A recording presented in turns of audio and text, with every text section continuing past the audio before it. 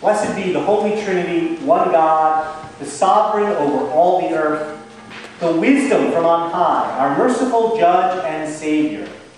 Amen. Let us boldly approach the throne of grace, trusting in God's mercy and love.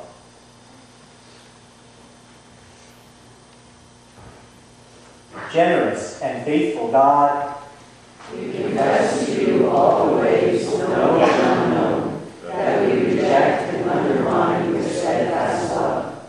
Though you made us your people, we treat strangers with suspicion. Though you forgave our debts, we collect without mercy.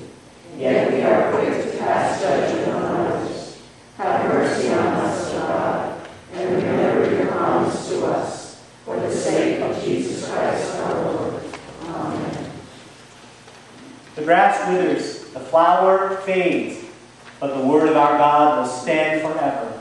Through the living word, Jesus Christ, God forgives your every debt, your every sin, and gives you a new heart and a new spirit. Amen. We sing of that Father's love, number 181, of the Father's love.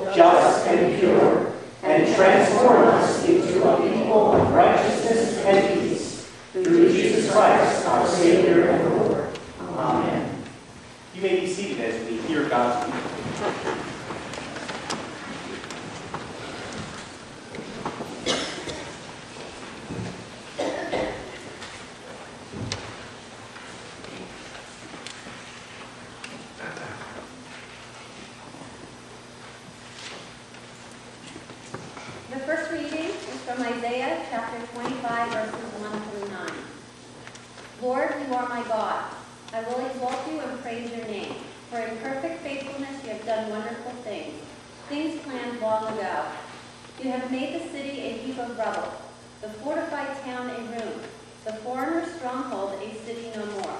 It will never be rebuilt. Therefore strong peoples will honor you. Cities of ruthless nations will revere you.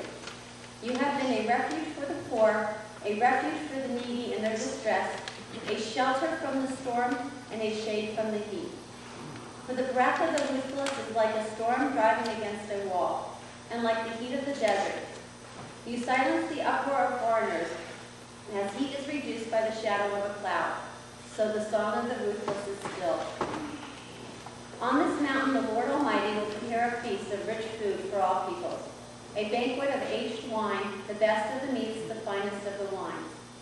On this mountain he will destroy the, on this mountain he will destroy the shroud that enfolds all peoples, the sheet that covers all nations. He will swallow up death forever. The sovereign Lord will wipe away the tears from all faces. He will remove his people's disgrace from all the earth. The Lord has spoken. In that day they will say, Surely this is our God. We trusted in him, and he saved us. This is the Lord. We trusted in him. Let us rejoice and be glad in his salvation. Let us read responsibly Psalm 23. The Lord is my shepherd. I shall not be in want. He makes me lie down in green pastures. And leads me beside still waters. He revives my soul. And guides me along right pathways for his name's sake. Though I walk through the valley of the shadow of death, I shall not fear no evil. For you are with me. Your rod and your staff, they comfort me. You spread a table before me in the presence of those who trouble me. You have anointed my head with oil, and my cup is running over. Surely your goodness and mercy shall follow me all the days of my life. And I will dwell in the house of the Lord forever. The second reading is from Philippians chapter 4, verses 1 and 4 through 14. Therefore, my brothers and sisters, you whom I love and long for, my joy and crown, stand firm in the Lord in this way, dear friends. Rejoice in the Lord always. I say it again, rejoice. Let your gentleness be evident to all. The Lord is near. Do not be anxious about anything, but in every situation, by prayer and petition, with thanksgiving, present your requests to God. And the peace of God, which transcends all understanding, will guard your hearts and your minds in Jesus Christ. Finally, brothers and sisters, whatever is true, whatever is noble, whatever is right, whatever is pure, whatever is lovely, whatever is admirable, if anything is excellent or praiseworthy, think about such things. Whatever you have learned or received or heard from me or seen in me, put into practice, and the God of peace will be with you. I rejoice greatly in the Lord that at last you renewed, you renewed your concern for me. Indeed, you were concerned, but you had no opportunity to show it. I am not saying this because I am in need, for I have learned to be content, whatever the circumstances. I know what it is to be in need. I know what it is to have plenty. I have learned the secret of being content in any and every situation, whether well-fed or hungry, whether living in plenty or in want. I can do all this through him who gives me strength. Yet it was good of you to share in my troubles. Here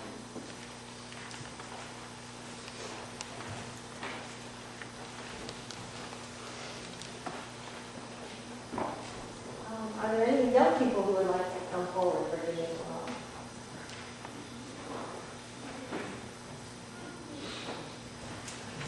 I think, um, no, so I'm going to just tell you what I was going to do. And um, it's, it's kind of a, um, I have a tension in my heart about it because the readings are so fabulous.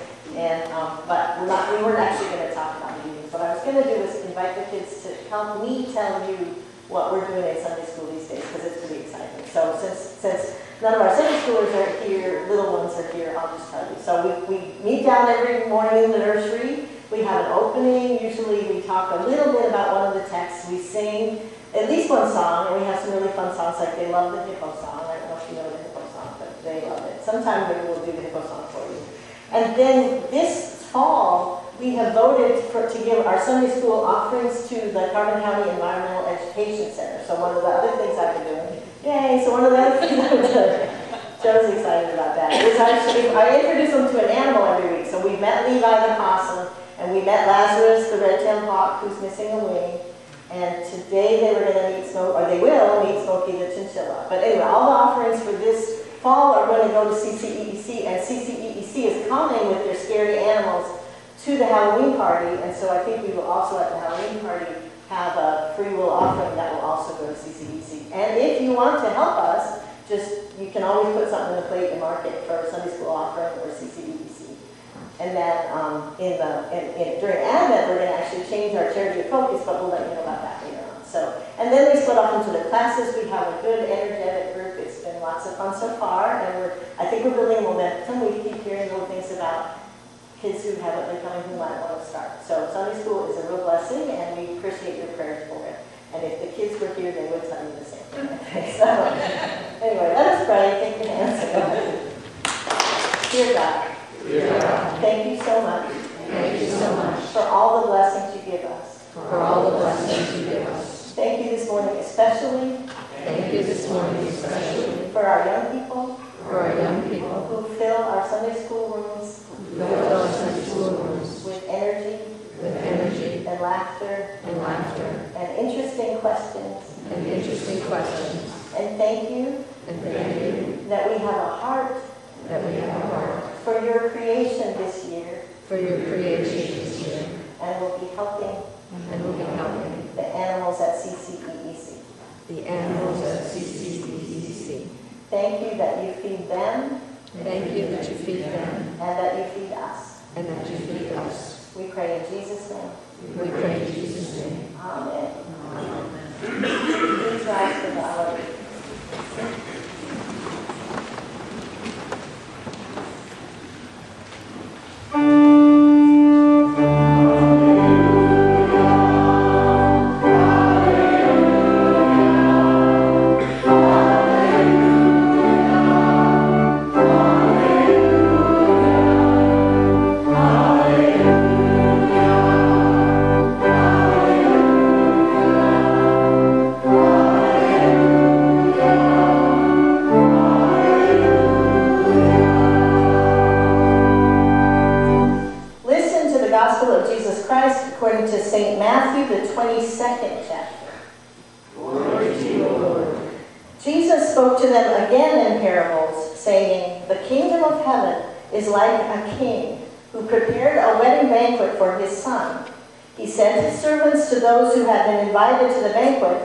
tell them to come, but they refused to come. Then he sent some more servants and said, Tell those who have been invited that I have prepared my dinner. My oxen and fatted cattle have been butchered, and everything is ready. Come to the wedding banquet. But they paid no attention and went off, one to his field, another to his business. The rest seized his servants, mistreated them, and killed them. The king was enraged. He sent his army and destroyed those murderers and burned their city.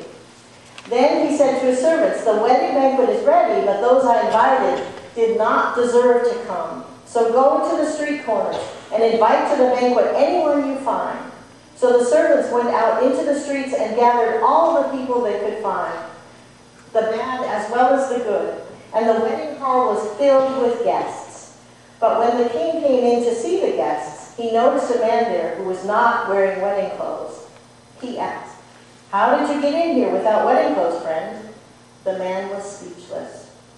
Then the king told the attendants, Tie him hand and foot and throw him outside into the darkness, where there will be weeping and gnashing of teeth. For many are invited, but few are chosen.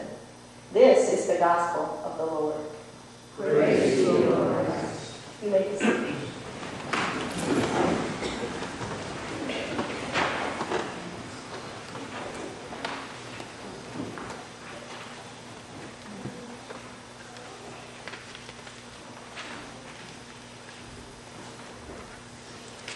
I think that this text would make a great summer blockbuster. I could picture it in my head, a great and good king of the ancient world, maybe played by Ian McKellen. His son, maybe Chris Hemsworth, hmm, has reached the age to marry, and the king has chosen a beautiful and accomplished, kind and wise young woman, maybe Jennifer Lawrence, for his son.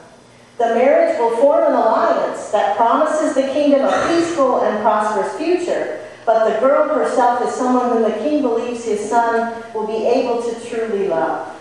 It's all good news. The king invites his officials to a great feast so that everyone in his kingdom can celebrate the kingdom's bright future and share in the king's joy. But things go wrong quickly. The king invites his principal subjects, but they are greedy and power hungry. It would suit the first one, maybe played by Willem Dafoe, much better if the king did not exist and he could rule his own small territory to his own satisfaction. So he disses the king and minds his own business instead. The second, maybe Tom Hiddleston, has secretly formed an alliance with a neighboring king who is more unscrupulous than our good king, and he is biding his time, expecting the wicked king to invade and reward him. Our third leader, maybe Benedict Cumberbatch, is in open revolt. He mistreats and murders the king's servants because he wants to become king himself. This story has all the elements of great drama. The good king understands, tries to understand why, even though he has been just and fair, he is faced with such wickedness, and how to respond to his perverse and wayward subjects in a way that doesn't tear his kingdom apart. The son and his bride add that romantic element as they work to help the king and in the process learn to love and respect each other. The three bad leaders are dealt with in various ways. The king manages to replace the first two with good and deserving people, perhaps played by Viggo Mortensen and Emma Thompson. But the third attacks, and only a terrible battle resolves that situation. A battle that puts the son's life at risk. Finally, though, it looks like everything is resolved and the future is once again bright. The king, his son, the bride, and all our heroes are gathered together for a joyous feast. The hall is filled with the people who have been willing to respond to the gracious king's invitation. Those who have been excluded before by the evil leaders, who are now ousted and disgraced. But there is a twist at the end of the movie. A man slips in, maybe played by Andy Serkis, who is not there to rejoice with the king and his son. He is there to assassinate them. The servants catch him, and the king has him imprisoned. But the king and his son both realize that rebellion is an ongoing problem, even in this good and happy land. So I think this parable could be an amazing movie. And if any of you want to invest in it, I'll get Pastor Chris to write the script. Matthew wrote down this parable of Jesus for his community, and the church preserved it for us. And so now we need to think about what it is saying to us this morning.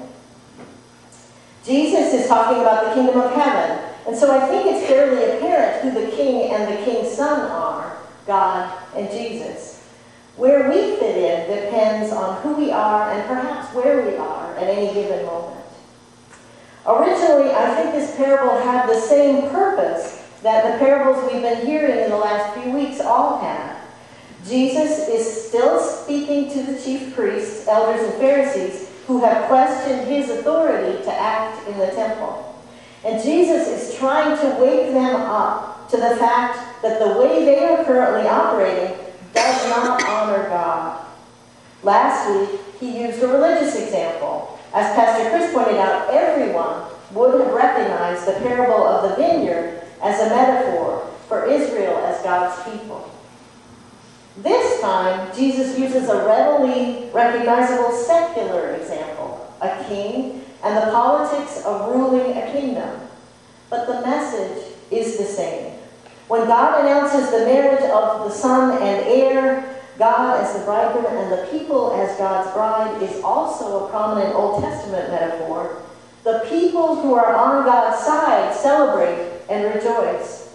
But the rejection of Jesus by the chief priests, elders, and Pharisees shows that they are rejecting God and going their own way. I'm sure that Jesus is hoping against hope that they will repent and turn back to God. But he's also teaching the people that they should no longer follow these leaders who are going down the wrong path. Our society is structured very differently from the society of Jesus' day. No more kings. We elect our leaders, and with the way our media exposes every aspect of every person's life, I'm not sure that we even expect anymore to respect them, at least not in every particular. In fact, sometimes we refuse a gifted leader because of his or her flaws and feel we must accept a less gifted leader because of his or her respectability.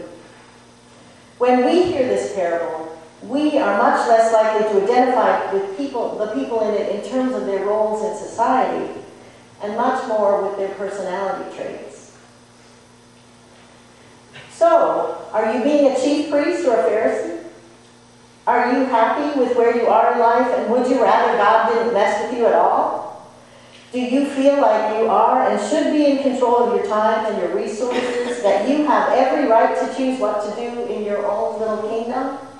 If so, then this parable may make you somewhat uncomfortable. It may be somewhat threatening, as Jesus says that what God wants for you may be different than what you want for yourself, and that God really should have some say on how your life goes, given that God has given you everything you have, not only your abilities and your personality, but also your starting point in life, your parents and your community, air, water, earth, food to eat, the ability to gain strength from your food. This is truly is our Father's world, and we are residents of it by God's grace alone. Or are you one of the people on the street who received that second invitation? Do you hear this parable as good news? Have you realized that your failings and sinfulness and thought that because someone else found you or unworthy or put you down, or because you haven't been able to, to be the success that you wanted to be, that you think God finds it impossible to want you?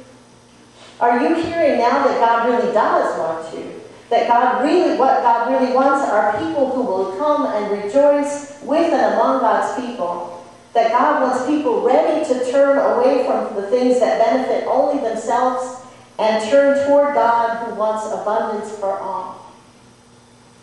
Or do you live in fear that you are that person caught at the feast in the wrong clothing? That somehow you're only pretending to belong here amongst these others, that you still might screw it up and have to be rejected into the outer darkness of death and hell? Well, I think that only the twisted history of Christianity has taught you to hear it in this last way. This parable was intended as a story that would make you examine your heart and repent from rebellion. It was meant as a call to action, not as a description of what happens when you die. And more than that, it's a story about the power and goodness of God. Those who refuse to come to the feast are counting themselves out of God's goodness. They are turning their backs on what is best for them and everyone else. But the parable also says that God is not ever going to accept this situation as final. Eventually, all rebellion and harmful self-interest, the shroud that enfolds all people, will be destroyed, and God's wedding feast, a feast of rich food and aged wine, will be celebrated by everyone with great rejoicing. The things that will be banished are not individuals, but the wicked and broken parts of all of us that keep us apart from God and each other. It will not be easy. Only God can do it. But it is God's great desire, and God, our great and good King, will not rest until it is accomplished.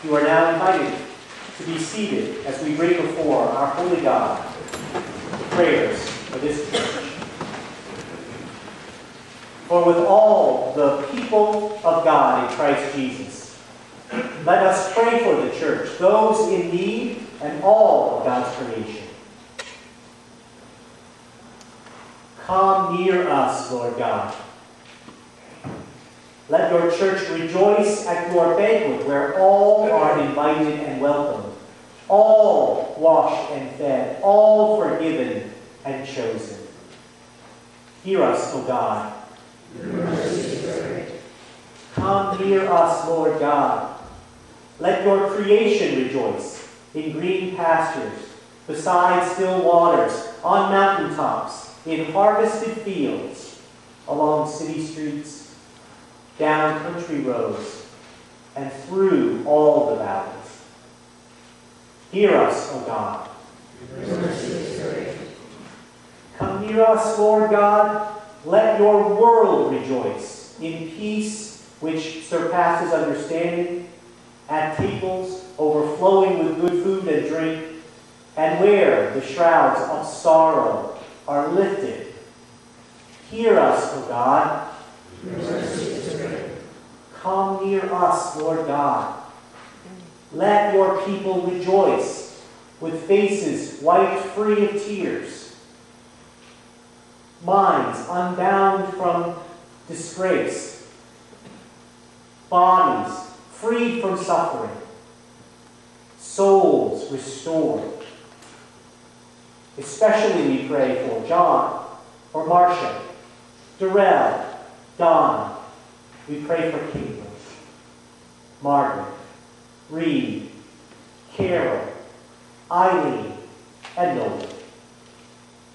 We lift up our friends to you, Richard, Eva, and Bruce, Ginger, Timothy, Emily, Harold and Wilma, Jane, Connie, Pastor Tim, Shay Folly, Frank, Hope, and Pat. Be with all those whom we love so much, who are not here with us today, those who are traveling, those who had to work, those who are too sick to leave their homes this morning.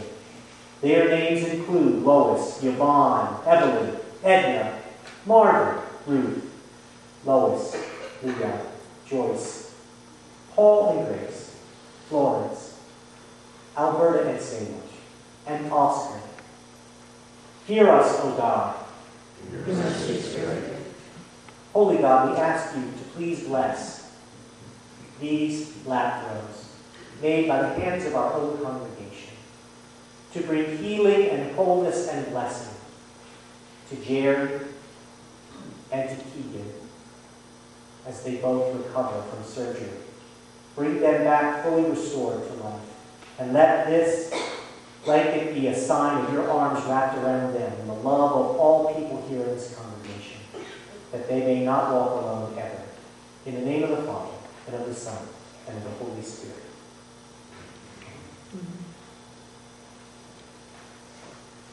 And so, Lord, for all for whom we know and love who are sick or suffering or grieving at this time, we say their names and needs out loud or silently. We say them in our hearts. Good day.